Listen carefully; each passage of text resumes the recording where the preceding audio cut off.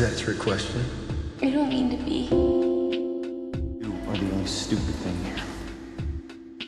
Do you ever feel like there's not a person in the world that loves you? And I try so hard, and I'm never the one.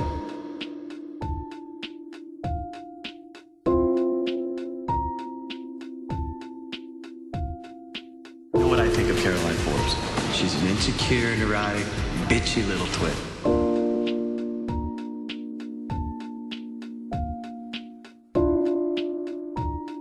My dad hates me. It's been a long year Hey, since we last. how can you hate who I am so much? How's your halo It can't be fixed. just between you and I? I don't hate you. I love you. You You're strong. You're beautiful. You're good. and even after everything that's happened to you, you are exactly who your mother and I hoped you'd grow up to be.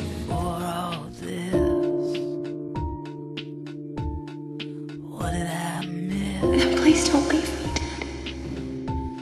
Please, please don't leave me. Don't to it,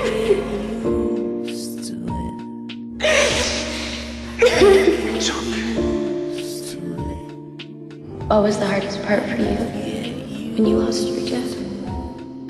realizing all the things that he wouldn't be there for. The things that um that you just need your dad for, you know.